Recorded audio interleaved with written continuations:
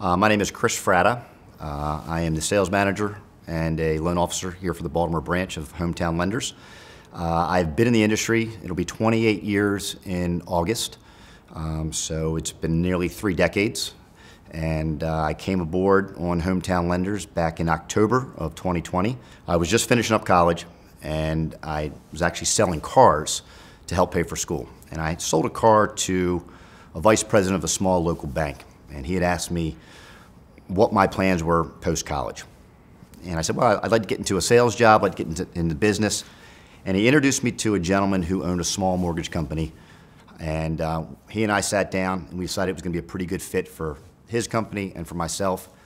So it was one of those things where I showed up the first day of work. They said, Here's your desk. And then he walked away. That was it. But as I learned the business, as I started to educate myself about what it was I was supposed to do and the impact that I could have on other future homeowners, you know, it became a job that um, it turned into a career. It turned into to an effort to pr promote homeownership, to provide people that slice of the American pie. Every day when you when when we go to work, you know, we're we're dealing with different clients, different scenarios, but the, the goal is always the same: to get them into their home, to get their family safe and secure, and that's what kind of drives us every single day. So homeownership is a special, special thing. You know, I think every time we see a client who purchases their first home or, or even that, that, that second, third home, you know, there's a sense of relief they have when they're walking out of settlement. Uh, I was fortunate that I bought my first house when I was 22. And the thing about that, buying your first house at that young, I was still in college. I didn't have an, a clue of what was involved. I didn't know what a PITI payment was. I didn't understand what an APR was. It was total confusion. So when I got into this industry, the one thing that I, I really make sure that is, is I don't forget how I felt when I bought that first house.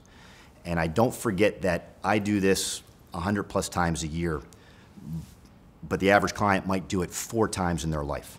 So we try, try and treat every single client as if this is their first home. My job is to make sure that they understand the process, they understand the risks that are involved with buying a home, because you have to know those risks to make sure that you don't step into those potholes. And just make sure that their financial picture today is going to be secured tomorrow. And, and that's kind of what drives me is never ever forgetting that what we do serves a purpose in our community, but we have to remember that not the community doesn't quite understand what they're doing, and it's our job to educate them and help them and get as many people into homes as, as possible. Learn, learn the business, stay on top of, of the industry. We change constantly in this industry. You know, guidelines change rapidly, programs come and go, and what I would say to myself, you know, 28 years ago was approach it as if it's your career and not a job. A job is temporary, but a career creates so many other opportunities for yourself, for your family, and for others. And so when you're doing that, it's important that you understand what you're doing. You understand what are the driving principles of your industry. You understand how mortgages work and how those mortgages can benefit the community.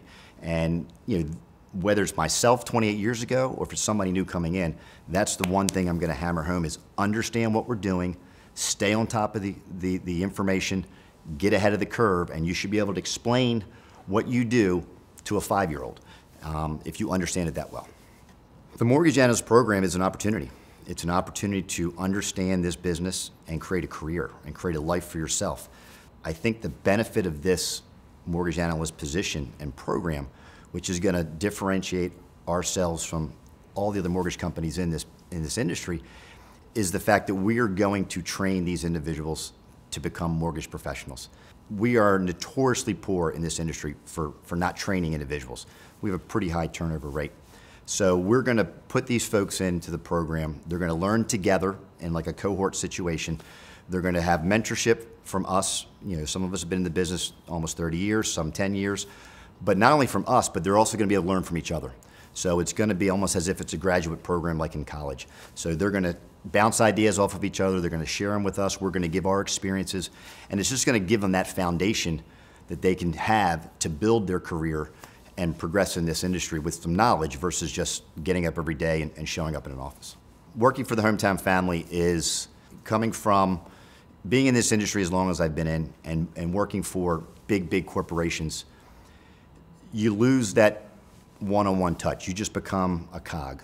One thing about hometown lenders that really has kind of, um, that I've learned to love in, in the last even just five months that I've been here compared to where I was in the 20-some years prior, was everybody has a voice in what we're doing. You know, everybody can reach out to the, to the upper level of corporate and say, you know, maybe we should do this, or maybe we should tweak it this way, or, or you know what, I think maybe if we look at this option, we may see a better result over here.